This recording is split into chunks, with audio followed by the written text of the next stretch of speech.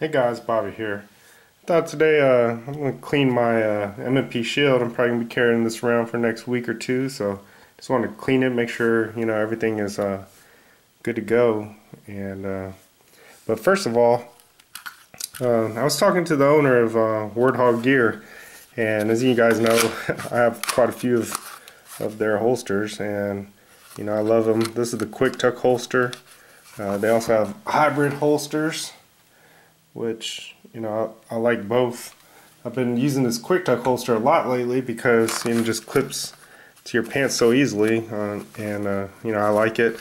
But if you enter uh, uh BT Blades in uh, the coupon code on checkout, you get 20% off these.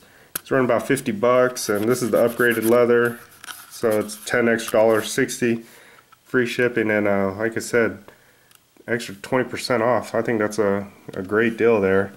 And I was on the website and it said uh, three to five five days shipping. So I mean, you know, it ships out in three to five days as opposed to most websites where it says uh, eight to 12 weeks, which I think is crazy. But I'll throw the link in the description. I'll put the promotion code. I just want to pass that on to you guys, which I thought was pretty cool.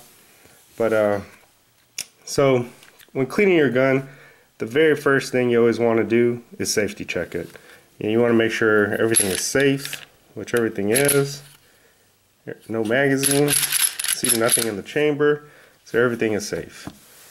But uh, for me, I think the products I use is it's going to be CLP. I think CLP, I use this on the barrel and uh, cleaning out carbon. This just removes carbon to me the best. Then also whenever I lube the rails and everything, I use Hoppe's 9 or Ballistol.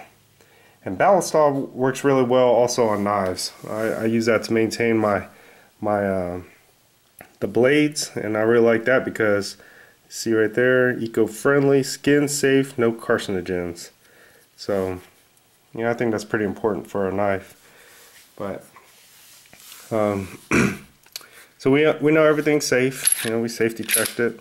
Uh, we'll go ahead and disassemble it. It's one of the reasons I really like the M&P Shield. so easy to take down. Boom. It's apart. And uh, pretty much for for this piece, I just really make sure you know everything is uh, clean. I just wipe it down with a, a dry cloth you know just get in there uh, try to make sure there's no carbon built up anywhere. Get in there which this one is pretty clean. I haven't I've, I've, I've uh, I took it to the range and you know I've, I've cleaned it since then but you know, it's always just good to run through and uh, you know just make sure everything's good whenever uh, you know I know I'm going to be carrying it for a little while. Uh, last thing you want is you know, uh, something something to be, you know, wrong with it, or it's super dirty when you're carrying it, and when you really need it, you know, it's it's not going to work.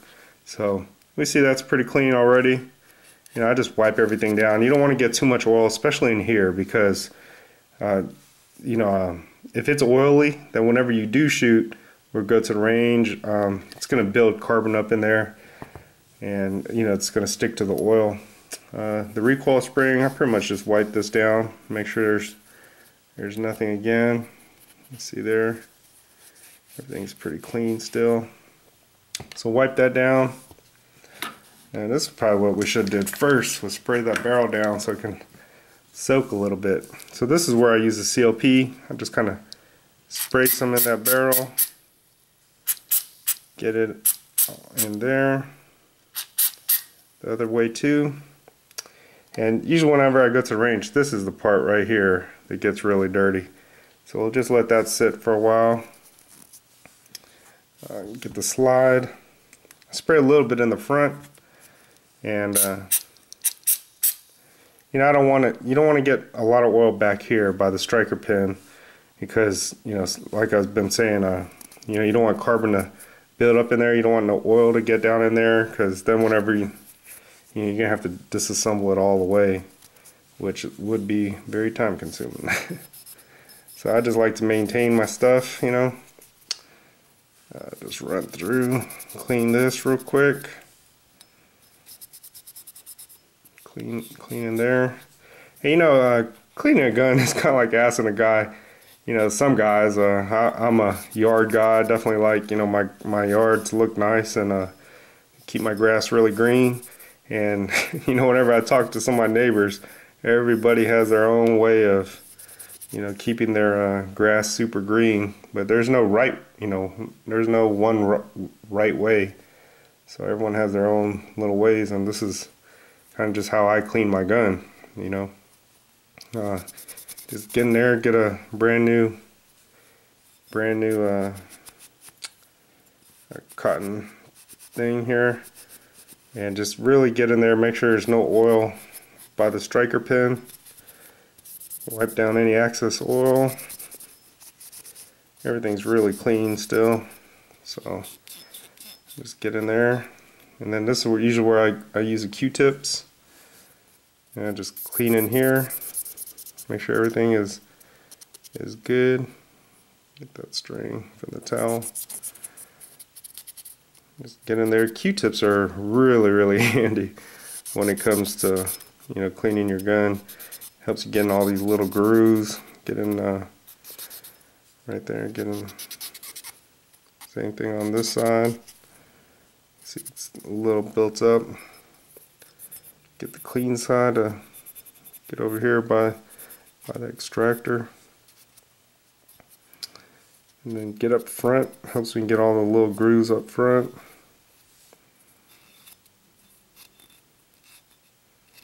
Which yeah, is a little bit of, a little bit dirty right there. So that's that's pretty good to go. Uh, let's start on the start on the the barrel. So I'll just wipe down some of this excess oil. You could actually, you know, uh, if I just came from the range, I, I, might even let let this sit for a little while. You know, uh, spray it down after I get home from the range, and then just, you know, let it sit for an hour or so while I do something else, and then, uh, you know, go ahead and clean it after that.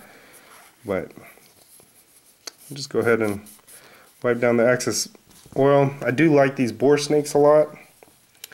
So this is where I use my bore snake. Uh, I like bore snake because, whoops, sorry, I just bumped the camera. But I like the bore snake because that way I don't have to get, you know, the rod and I have to scrub it. Then I have to change the tip of the rod out, put one of these down in there and keep, you know, it just, it's time consuming. You get a bore snake, you just drop this in there, pull it out, and then uh, you see those, the, the steel right here? It, kind, it scrubs you know, it scrubs it out in there. And, uh, I mean, just, it's that easy right there. Can't beat that. So I just drop it down again. Uh, you know, if I went to the range, I'd probably do it uh, a few times. You know, at least maybe four, four or five times, whatever it takes to get it clean. So, and that's not much though, as you see how fast this is. You just kind of go through, boom. Uh, that's really good. Just, but you know, whenever I do shoot a lot, uh, this is the part right here that gets really dirty. So it's pretty important that you clean this, this out over here. You see it, and there's still some, even though I've cleaned this once already. Get a Q-tip clean in here.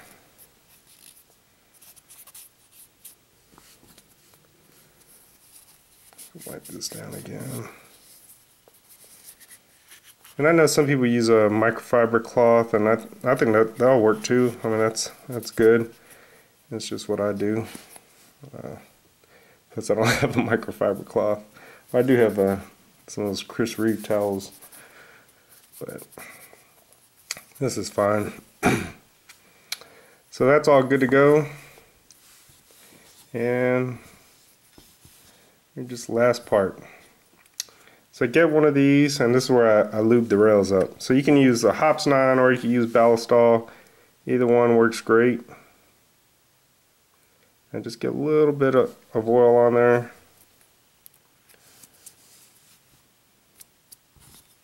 Uh, scraped a little bit of my finger, a little bit of skin was coming off. Um, And I just lube the rail real quick. Because, you know, I know right here, this is where metal touches metal. So you're definitely going to want to, you know, get, get a little bit of oil in there. So I get it in that groove. And then I come back here. I know, you know, this is right where the metal contacts the metal. So I get some, little bit of oil on there. And there's not a lot of oil on this. You can see, I mean, it's not like I'm not globbing the oil on there. It's just a nice thin, thin layer of oil. And go to the barrel, which still has some excess. We'll just wipe that. Just wipe everywhere. Normally I'd put a, a little bit, you see right here where the, the metal touches metal. I just, you see it's just a real thin thin sheen there. Like I was saying, not a lot. It's very little. You know, all this area where uh, metal touches metal. It's just real thin coating. And that's just what I like to do. So, I'll put this thing back together. Get the recoil spring.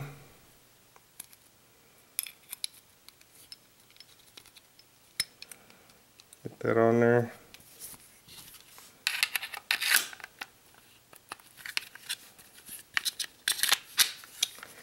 There it is. Lock it back. Drop the slide. We know it's all safe. And then uh, get one more cloth and just wipe down the excess oil there.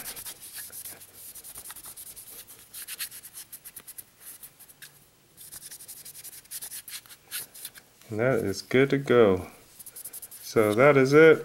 Got a nice clean uh, M&P shield all ready to go. So that's how I do it. And I, I hope that helped uh, hope that helped some of you guys. But that's about it. So I hope you guys enjoyed the video. Thanks. Bye.